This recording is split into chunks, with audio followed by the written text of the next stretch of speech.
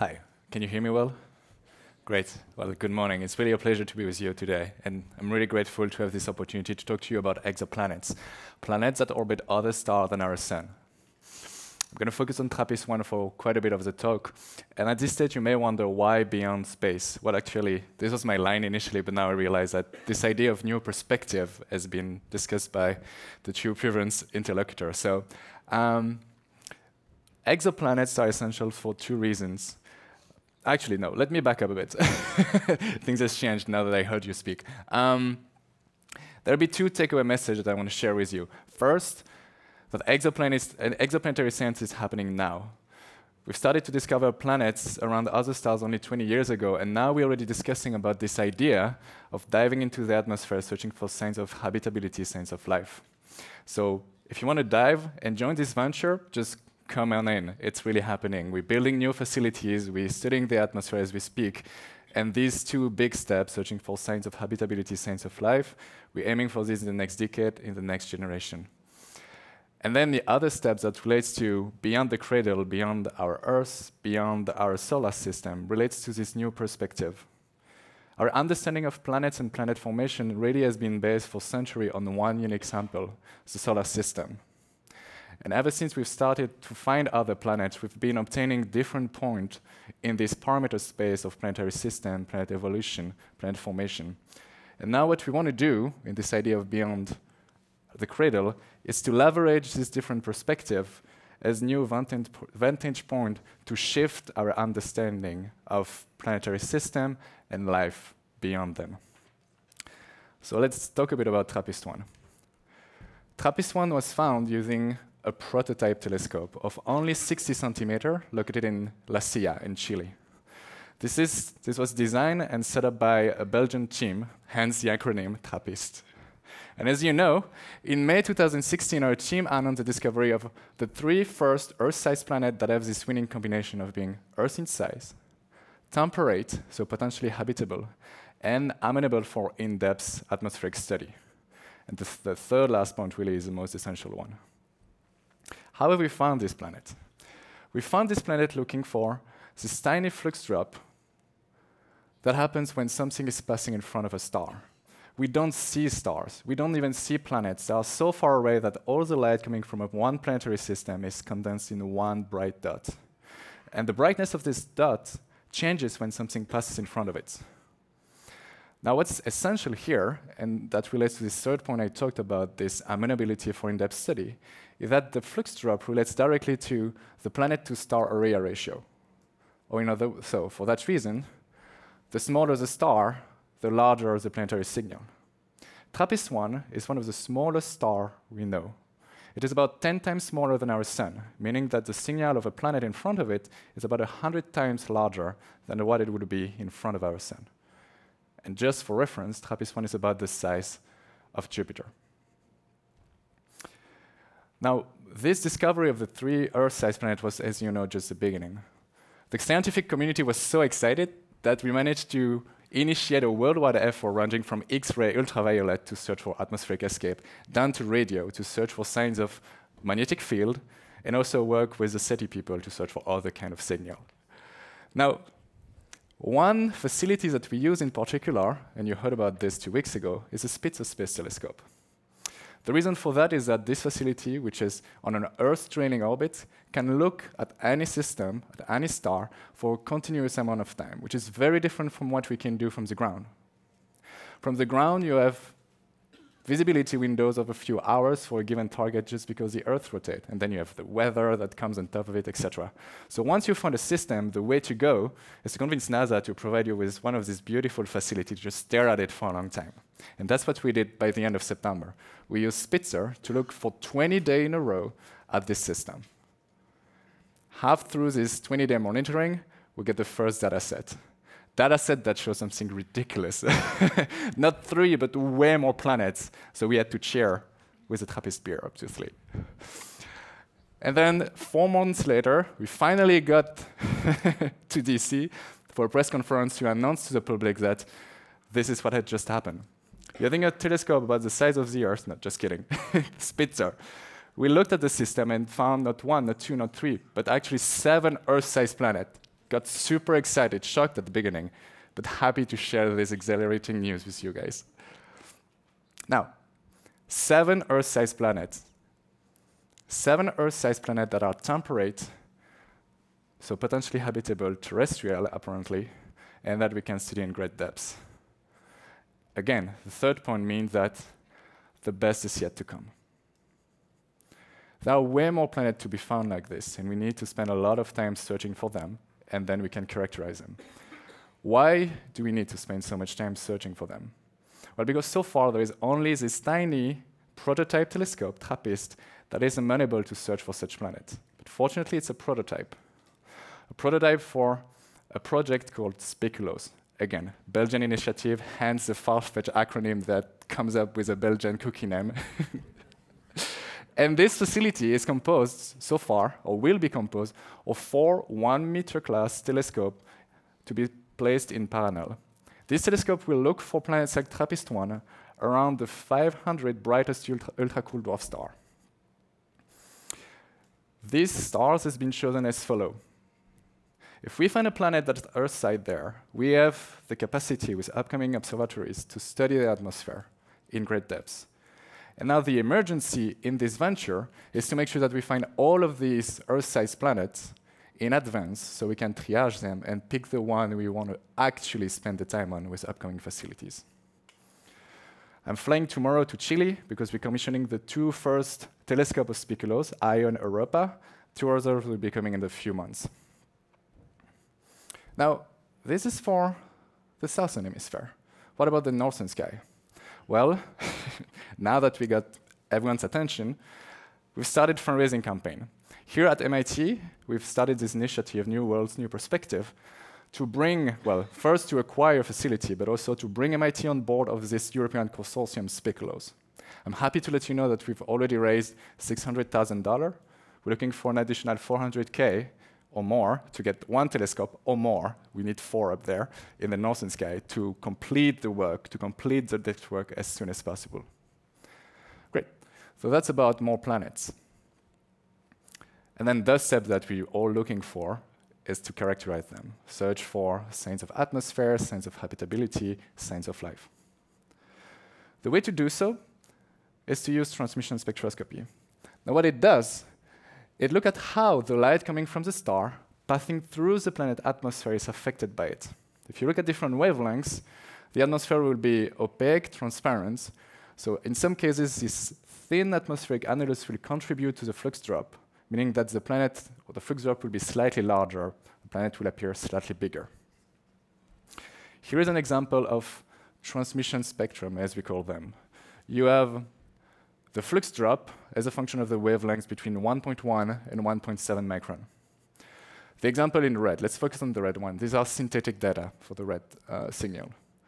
This is a molecular feature of water at 1.4 micron that leads to the flux drop to be about uh, 6,000 part per million larger than what it is at 1.25, for example.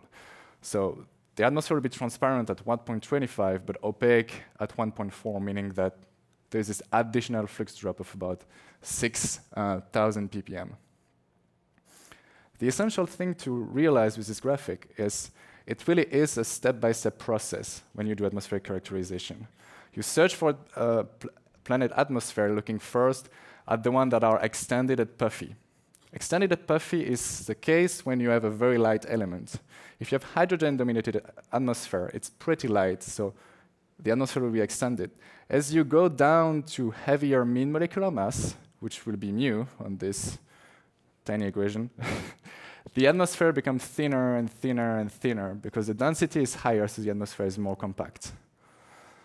Meaning that it's way easier to search first for hydrogen-dominated atmosphere, and then you can push harder with your facility, beat down the noise to a point where you can reveal this thinner atmosphere.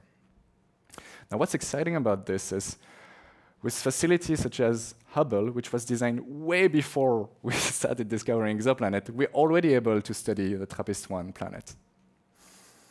Actually, in May, just two days after we reported the discovery of the planet, I was using the Hubble Space Telescope to provide us with the first insight we had ever gained into the atmosphere of, this, of such planets. And this was an amazing data set. So on May the 4th, not only is the planet, two planets, the star, but also Hubble were perfectly aligned to provide us with this like insane data set. In gray, you have the occultation window. Hubble being on a Earth, well, on a low Earth orbit, it cannot look continuously to one given point.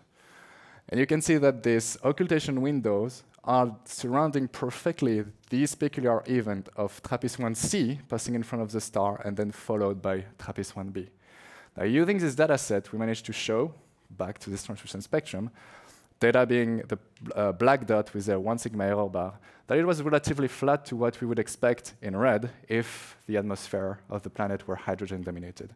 Meaning that we need to push forward to look for something that would be slightly thinner, but still within reach, something like a water-dominated atmosphere or methane-dominated atmosphere.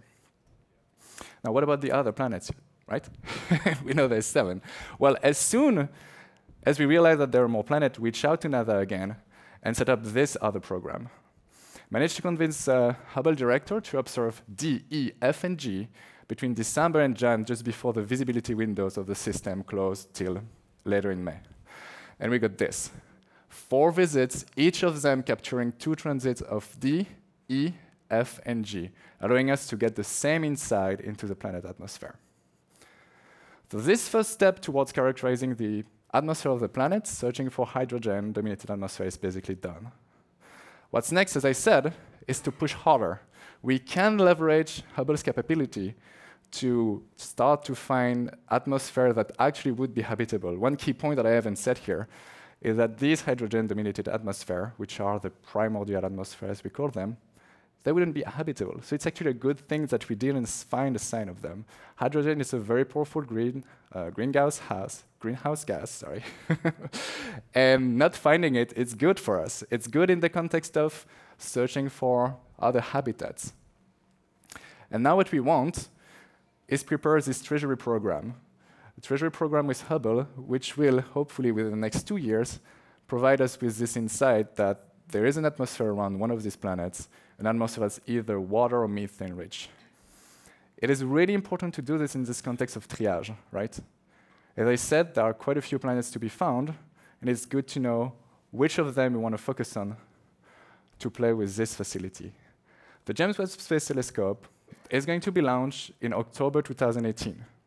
It has an aperture that is about six times larger than one of Hubble, and it actually is designed to do the kind of science we want to do in the field of exoplanetary science. But James Webb won't be alone on this journey. We're going to have the extremely large telescope with collecting area ranging from 30 to 40 meters, meaning that these facilities will lead us, will provide us with exquisite data quality, signal to noise ratio unprecedented. Also a high spectral resolution, meaning that the molecular feature I showed you before, rather than being poorly sampled, will be really finely sampled, allowing us to understand, to constrain, what is the temperature at which these molecules in the atmosphere are absorbing the light, what pressure level. And then they're also going to provide us with extended spectral coverage, meaning that we're going to get this kind of spectrum showing us lots of different molecules rather than just this tiny bit as I just showed you before with Hubble. So we're really going to obtain a completely different level of understanding of this atmosphere. This is in this context that I want to emphasize that beyond the search for life, search for signs of habitability, search for signs of life biosignature, there really is a tremendous potential through exoplanetary science to help us improve our understanding of planetary system, planet evolution, etc. And as I said earlier, it's really important because this understanding has been based for centuries on one unique sample, the solar system. I mean, think about it. it's like trying to predict the outcome of an election asking one citizen.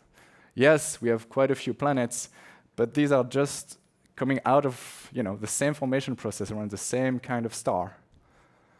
To give you an idea, over the 3,500 planets we've found over the past um, 20 years, we found planets free floating in the Milky Way without star we found planets with multiple stars like Kepler-16b. Among the 3,500 planets found, one of them, J1407b has 37 rings, 200 times the extent of Saturn's ring. So big that if Saturn had such ring, it will be bigger than the moon in the sky, and you'll be able to see it by naked eye. We found planets being pulled apart, dying around the star. That's how much diversity we found looking elsewhere. And so TRAPPIST-1, beyond being the opportunity to start searching for signs of habitability, signs of life beyond the edge of our own system, really is the opportunity to start revisiting our understanding of planetary system. This star, TRAPPIST-1, is an ultra-cool dwarf star. And that means that it is the type of star that is the most frequent in our galaxy. And it has not formed just one, two, three, four terrestrial planets. It has formed seven, meaning that the archetypical, the stereotypical terrestrial planet might as well be one of these rather than what we've seen in our own solar system, Venus, the Earth, or Mars. Now think about it. If one of them were to be habitable or inhabited, the pale blue dot will actually be a rare thing compared to them. So this is how much our perspective is changing through the study of planets outside our solar system. Now I want to wrap up with this. It really is a new age for space exploration. These vantage points that we're, that we're about to gain will require a lot of effort over the next generation. Efforts ranging from you know, insight and expertise of engineers to help us design the key facilities well suited for this kind of development. Biologists to help us understand what actually is a biosignature, a signs of life. Geophysicists to help us you know, know what kind of planet are these? Are they rocky like the Earth? How much fraction of water do they have? Do they have ocean? If so, how deep? 1,000 kilometer deep based on the density that appears to have? Sure. But what does that mean for the climate, the kind of life that there is there? So there really is a lot to be done, even so we won't be able to travel to this place yet. And a lot of growth can come from them through our understanding of planet formation, habitability, and also maybe life conscientiousness through them. So let's find out what is our place in the universe thanks to this planet well beyond the edge of our own system. Thank you.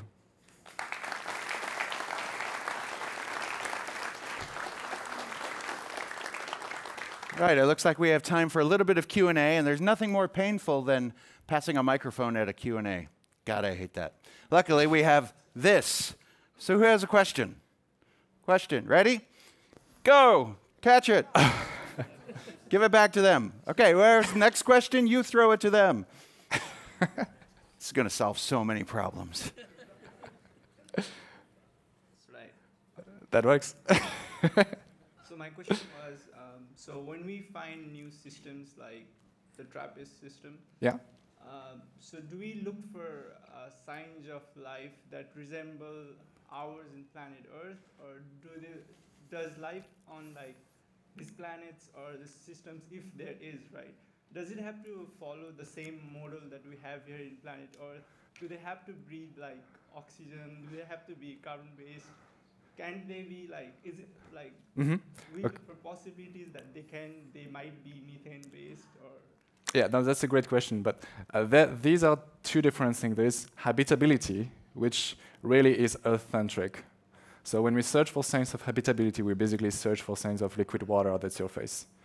But then there is signs of life, and this is really undefined. And people tend to think, even, I mean, I, I actually used to think that there was habitability in the Venn diagram, and then signs of life will be right in it. But actually, the way we define signs of life is more like an, a negative space. We look at everything that could not be attributed to life, like um, production of O2 by geo geological processes, production of methane, etc. And then we look at what's left, and whatever would be left will be considered as potential signs of life biosignature. So we're not trying to map out what we do and relate relate whatever life can produce here on Earth to biosignatures. We go the other way around. So there is much more freedom in our definition, or much more open-mindedness in our definition of what could be a biosignature than there is in what is habitability. So we, we way less Earth-centric in, in that regard. Next question. Throw it, throw it. Hi. Uh, my question is about TRAPPIST-1. Mhm. The dwarf star, you know, um, and excuse me, the seven orbit planets orbiting it. It seemed that at every at some given time, a part of the planet would be completely covered by another one. So that means like the temperature would vary from very very low to maybe like a normal temperature. Could you talk more about that? Uh, so yeah, so um, what is going on for what is most likely going on for, for this planet, it's just the beginning, so we, we don't know yet. What is most likely going on is that they are so close to their star that they are what we call tidally locked. Like the moon is with the Earth, these planets are always showing the same face to their star, meaning that for some of them, at least, there should be a permanent day side and a permanent night side. So the temperature from the substellar point, the point that's really just in line with the star, to the night side should change significantly. Now, it will mean that it will lead to completely different climates, circulation regime, etc. It will also mean that uh, the sky is all, uh, the star is always at the same position in the sky. So it is a completely different type of planet, type of climate that we experience here on Earth and on the other planet in our solar system. Yet they could be habitable, they could harbor liquid water either on their whole surface or on their limb we'll see what, what, what is actually going on there in the next you know 10 to 25 years, and that is what is exciting. It's completely different, but it is within reach. Oh.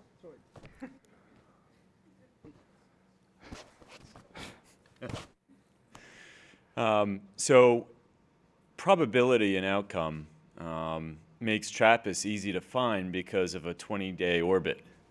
What if it's a 20-year orbit? Do you have the commitment to stay low, uh, focused on a star where that, that planetary orbit is so long? No. So um, that's a good question.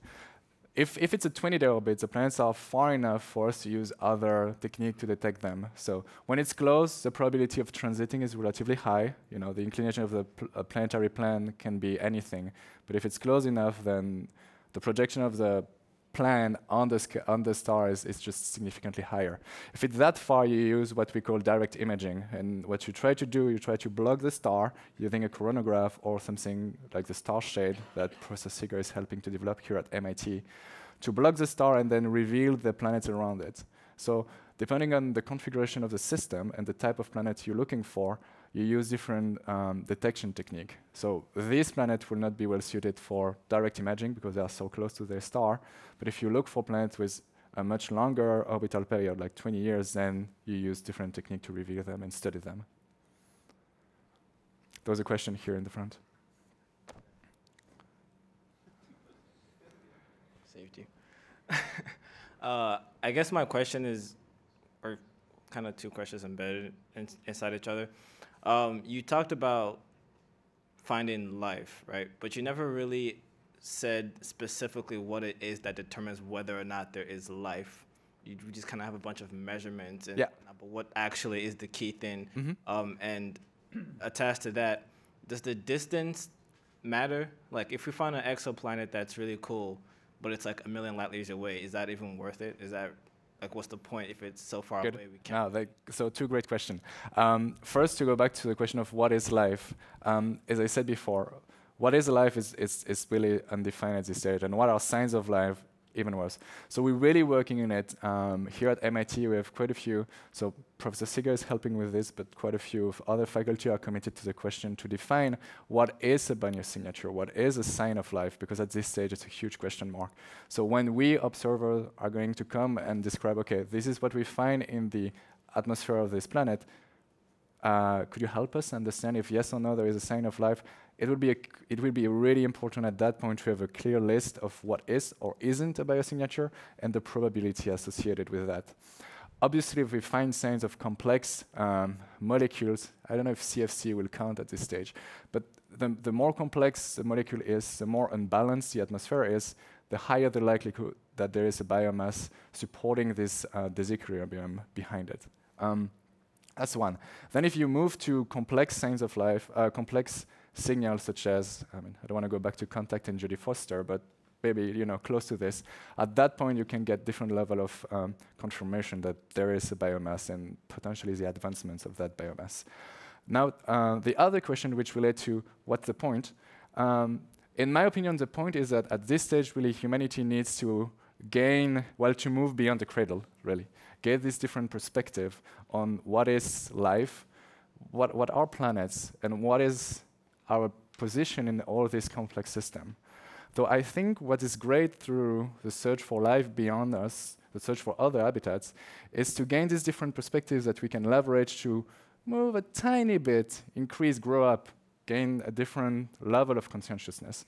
So in that context, I think it's really good. We won't be able to travel there soon, which might be a good thing because we might need first to sort out what's going on on this stage, uh, so we don't spread our, you know, childish behavior too too far away. So it's good. It can allow us to just move away, get different perspective, but also a different vantage point on this pale blue dot, and act differently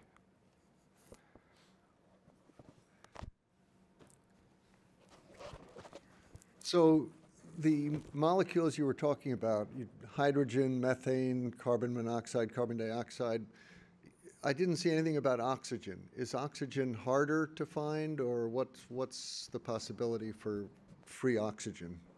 So, um, yeah, oxygen is, is harder to find because of the O2, the O2 molecule doesn't have much uh, absorption band. It has like very strong lines, but it is too simple to have nice big absorption features.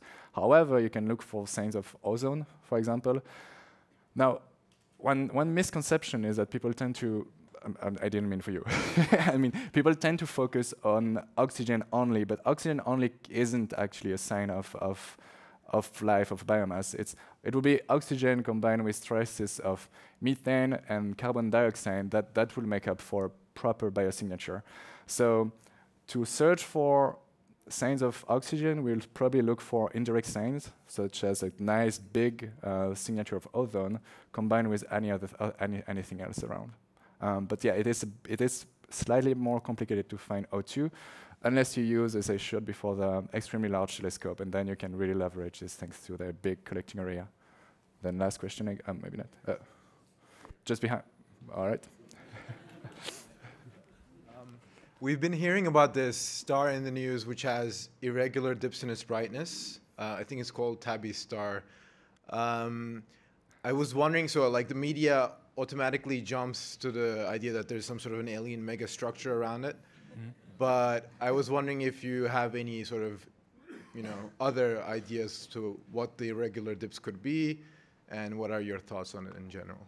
Um, so I'm going to be very lame. I don't. I, honestly, I don't know. Um, at this stage, I think it's it's it is tantalizing. It's really exciting to move to these to move to these theories, but as I just showed with these different exotic planets we found, there's a lot we don't know. There's a lot that we still have to learn. So before jumping to such conclusion, I think it's good to really investigate all the other alternative, including the unknown alternative uh, that could be behind this kind of uh, irregular dip. Um, so we'll see. Time, patience. it's happening quickly, but we still need a few years to make sure that we have tackled everything adequately before drawing these kind of ex uh, exciting conclusions. And then there was questions on this side. I can, yeah, go for it. Thank you. Good to see you. Um, what's the radiation behavior of these class M stars? Because these planets are so close yeah. that they could, if they flare a lot, they could be just totally baked. Although they're tidally locked, so maybe around the terminator or on, just on the dark side, there's some refuge. But uh, again, if this star is just sending out flares, they're so close, they're, they potentially could be. So we've we've placed constraint on the on the UV radiation of of TRAPPIST one, and it's actually relatively quiet. So that's that's step one. Step two, the one key factor will be the strength of the magnetic field. Step three will be the density of the atmosphere. And if these planets appear to be as we think they are, uh, volatile rich, meaning they could have you know, thousand kilometer deep ocean, then you can actually sustain, replenish an atmosphere, keep it very thick, and then you can have habitable, habitable condition on them. So yes, you're right, definitely, uh, but it's a huge question, like it's a big question point, and we'll see what, what there is, how it unfolds. Uh, but this is a very important factor, yes, the activity of these stars. Right, Got to move on. Joe Tasadier.